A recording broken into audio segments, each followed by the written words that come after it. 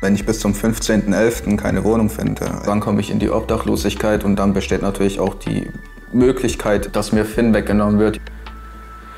Uff. Schwierig.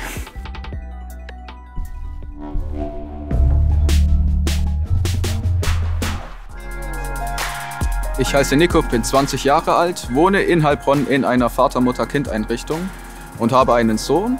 Er ist 22 Monate alt. Mami. Alle? Super. Gib Check. Faust. Yeah. Bevor ich erfahren habe, dass ich halt Vater werde, ja, wie sah mein Tagesablauf aus? Mit Freunden rausgehen, saufen, Joint rauchen, so lauter solche Sachen, die man halt als Jugendlicher halt so macht. Oh mein Gott. Das war mein allererstes Foto, wo ich dachte, das sieht killer aus. Boah, 16, da, 16 rum war auf jeden Fall die Phase, wo ich gleich gegangen bin, ja. Genau, ich glaube, dieses Bild war ungefähr noch zu diesem Zeitraum, wo ich angefangen habe, Drogen zu nehmen oder zumindest kurz davor war. Ich habe bei meiner Ex-Freundin, bei der ihrer Familie mit im Haus gelebt gehabt, also in der Wohnung, war arbeitssuchend zu dem Zeitpunkt. Hatte eigentlich auch geplant gehabt, zur Bundeswehr zu gehen. Es hat halt alles durch die Bahn geworfen auf einmal in diesem einen Moment.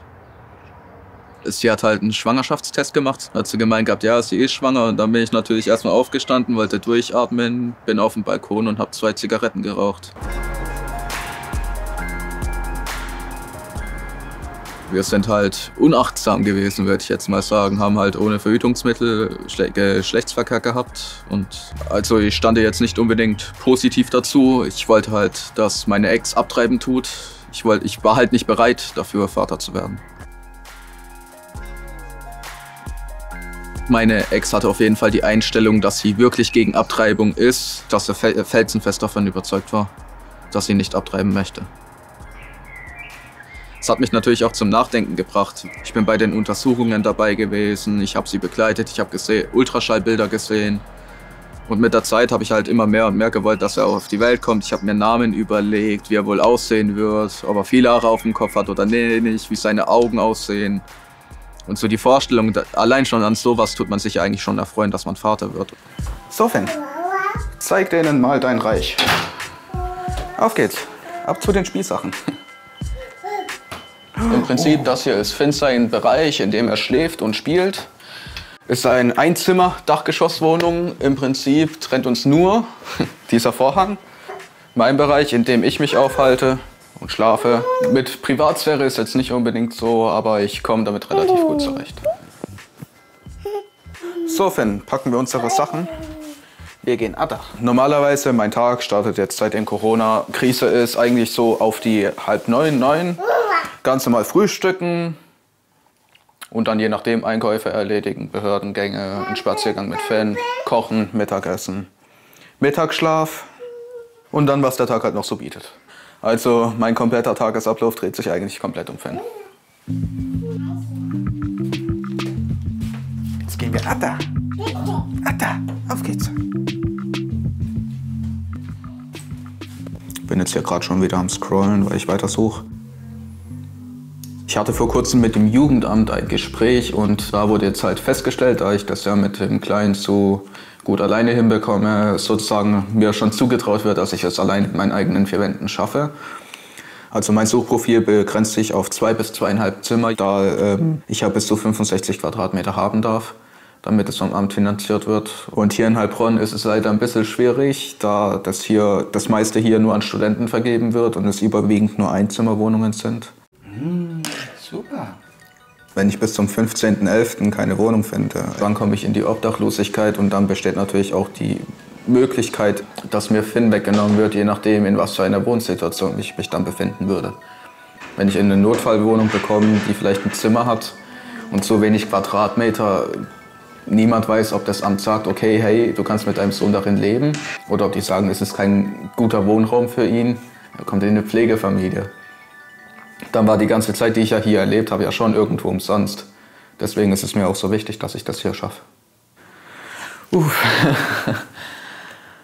schwierig, sehr schwierig.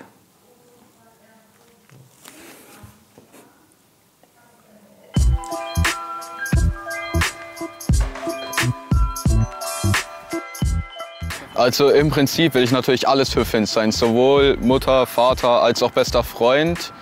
Aber im Prinzip, wenn man alleinerziehend ist, muss man einem Kind die doppelte Liebe schenken, die doppelte Kraft, die ein Kind braucht, da einfach die Mutter nicht da ist. Also Freunde, chillen geht immer klar, wenn es natürlich dementsprechend funktioniert, jetzt wegen Corona. Klar, es gab schon Situationen, wurde gefragt, ob ich auf den Geburtstag komme, wo ich dann auch sagen muss, nee, Leute, ist nicht drin, ihr wisst, ich habe ein Kind wo sie dann sagen, ja, hey, kannst du Finn mal abgeben, vielleicht mal für drei, vier Stunden, wenn überhaupt. Und da muss ich halt auch immer verzichten und darauf sagen, hey Leute, für mich ist es alles zweitrangig geworden, es geht nicht. Und das hat man halt zu akzeptieren.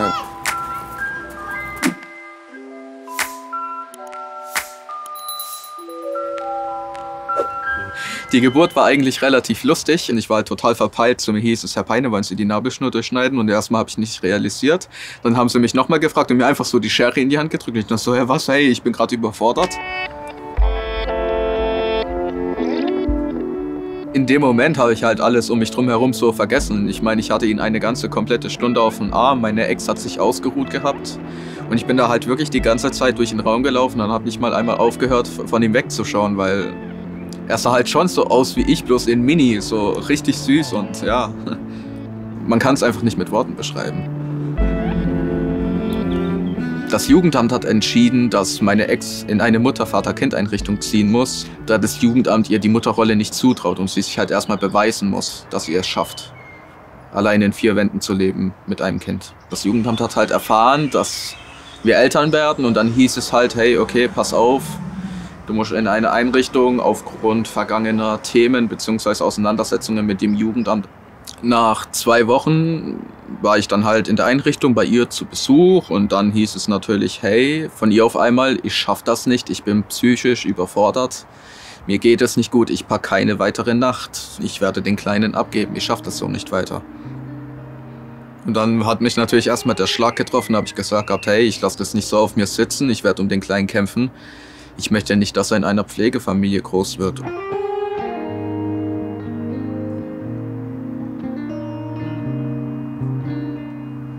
Gefühlsmäßig will ich sowas nie wieder erleben. Das ist, das kann man keinem empfehlen, keine Mutter, keinem Vater, keine werdende Familie. Ja, sowas tut einfach weh.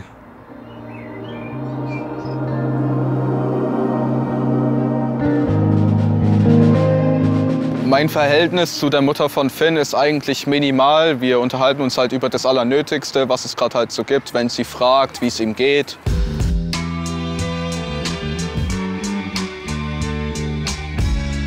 Sie ist die Mutter, ich bin der Vater, wir sind getrennte Leute, aber wir sind immer noch die Eltern, die für Finn da sind.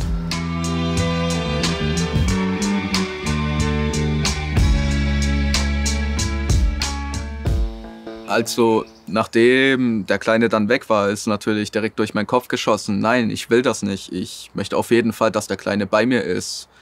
Warum mir das durch den Kopf geschossen ist, die Beziehung zu meinem Leib, äh, eigenen leiblichen Vater ist in die Brüche gegangen.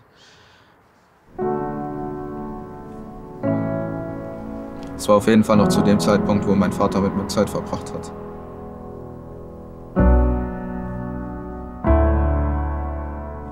Bei dem Bild war ich so um die 10, 11, 12 ungefähr. Ob ich zu diesem Zeitpunkt schon keinen Kontakt mehr mit meinem leiblichen Vater hatte, das weiß ich leider nicht mehr. Ich habe auch schon sehr vieles aus dieser Zeit vergessen, was ich eigentlich auch relativ gut finde. Aufgrund dieser Erlebnisse habe ich halt diese Einstellung bekommen, dass ich ein guter Vater sein will. Ich will für mein Kind da sein. Ich will so für mein Kind da sein, wie mein Vater nicht für mich da war. Und dann habe ich halt gesagt gehabt, ja okay, gut, da keine andere Wahl bleibt, ich werde um ihn kämpfen. Ich habe Druck beim Jugendamt gemacht, ich habe einfach darum gekämpft, dass es nach meinem Willen so teilweise geht, in eine eigene Wohnung. Von mir aus in betreutes Wohnen, irgendwas, aber Hauptsache in die eigenen vier Wände, ohne groß drumherum. Wenn man einmal so einen Gedanke hat, das hält natürlich auch fest für die ganzen Wochen und Monate. Und es lässt einen auch die ganze Zeit wachrütteln, schlaflose Nächte hat man natürlich auch und sowas ist nicht einfach.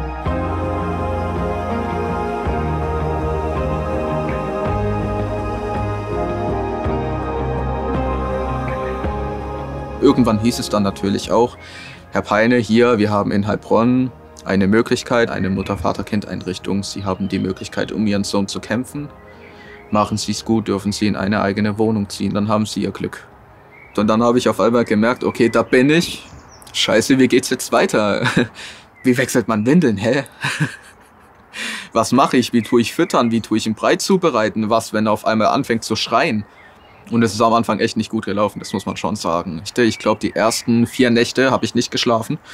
Ich hatte die ersten zwei Wochen höllische Rückenschmerzen. Vor allem durfte ich ja in den ersten Wochen nicht zu meinem Freundeskreis und zu meiner Familie, da mir noch nicht zugetraut wurde, dass ich allein mit meinem Sohn irgendwie unterwegs sein kann. Aber im Hinterkopf habe ich gesagt gehabt, ey, nee, nee, nee, du hörst damit nicht auf, du machst damit weiter, du kämpfst darum, du wolltest es unbedingt, also mach es auch. Und äh, mit der Zeit hat man halt gemerkt, okay, Windel wechseln ist leichter, den Gestank kann man zum Beispiel besser ertragen. Oder die ersten zehn Minuten, wenn man merkt, das Kind schläft endlich ein, wo man denkt, nach zwei Wochen endlich mal das erste Mal. Also es sind echt solche Kleinigkeiten, wo man auf einmal wieder ein Lächeln ins Gesicht bekommt und wo man denkt, okay, wow, es funktioniert endlich. Und ich habe natürlich auch die nötige Unterstützung dafür bekommen.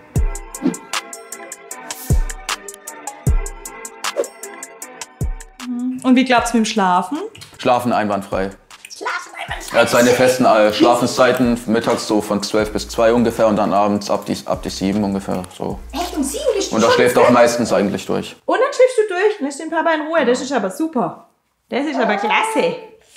Das mögen Eltern ganz arg, wenn sie nachts nicht ständig raus müssen. Also ich denke, der Nico kam hier an als, als Rohling, sage ich jetzt mal, als ich habe keine Ahnung und Baby, oh Gott, was mache ich mit dem? Und ähm, jetzt ist er einfach in dieser Rolle drin. Und da kann er wahnsinnig stolz auf sich sein, was er da geleistet hat in der Zeit. Hätte auch schief gehen können, weiß man ja vorher nicht, ob man das packt oder nicht.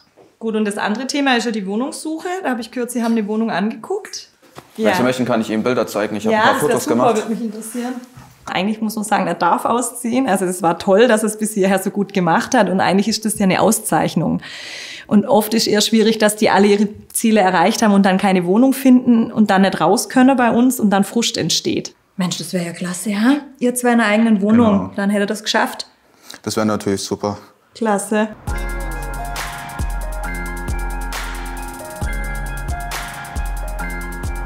Es war ein paar Wochen bevor ich Vater geworden bin. Noch so jung. mein altes Ich hat immer quer durch den Tag gelebt, gefeiert, mit Freunden rausgegangen, Drogen konsumiert. Bogen dem klar, rate ich jedem von ab.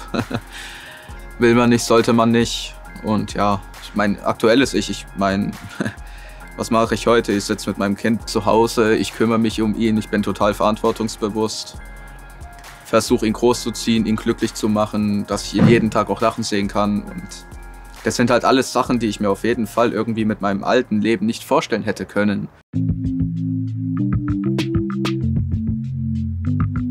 Bitte schön, kommen Sie mit.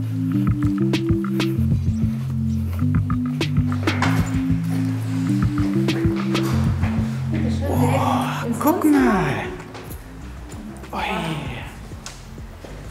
Also Besichtigungen hatte ich bisher so um die sechs, sieben Stück.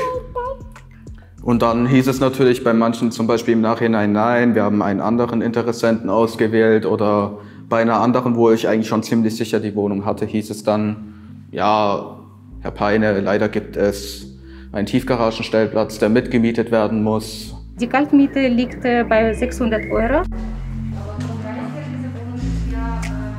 Die Wohnung ist auf jeden Fall schön. ja. Und dem Kleinen gefällt die Küche sogar sehr, sehr gut. Ja? Immer diese Küche. Ähm, ich wohne in einer Mutter-Vater-Kind-Einrichtung in Heilbronn zentral. Äh, und ich habe eine Frist bis zum 15.11. Wenn ich bis dahin keine Wohnung gefunden habe, bin ich obdachlos. Okay. Genau, und das ist jetzt der ganze Haken und deswegen suche ich händeringend. Also als alleinerziehender Vater muss man schon sagen, es ist ein bisschen schwierig, gerade weil die meisten Leute irgendwie jemanden suchen, der ein festes Einkommen hat. Zumindest meinen Erfahrungen nach. Von dem her ist es alles echt nicht so einfach. Wobei ich aber glaube, allgemein alle Alleinerziehenden haben so ein Problem.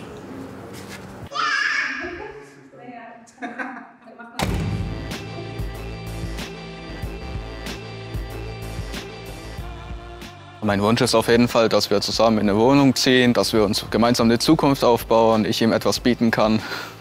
Das ist auf jeden Fall das, was ich erreichen möchte. Also ich bin sehr zuversichtlich, weil er so ein bisschen in sich ruht auch und so ein ganz gelassener und, und irgendwie, wenn man das jetzt so neudeutsch sagt, so gechillter Typ ist. Also ich glaube einfach, ähm, der schafft es, der hat die Energie und die positive Power auch und sein Sohn ist einfach auch ein absoluter Sonnenschein. Klar, es wird eine Herausforderung und ich kann nie, man kann niemals sagen, was genau auf einen zukommt. Aber was ich auf jeden Fall weiß, ist, dass ich das auf jeden Fall versuchen werde. Es sollte nichts unversucht bleiben. Es reicht mir schon, wenn ich Finn jeden Tag putzmunter sehe. Ganz einfach. Er gibt mir eigentlich das, was mir sonst keiner geben kann.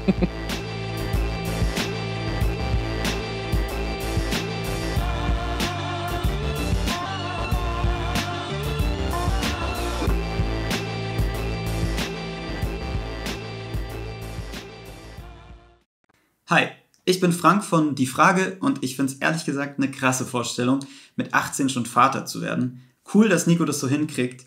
Ich habe mich auch mal auf meinem Kanal mit dem Thema beschäftigt. Bin ich bereit für ein Kind? Unter anderem habe ich mir dafür einen Babysimulator ausgeliehen. Zur kompletten Reihe kommt ihr hier und hier unten gibt's mehr von True.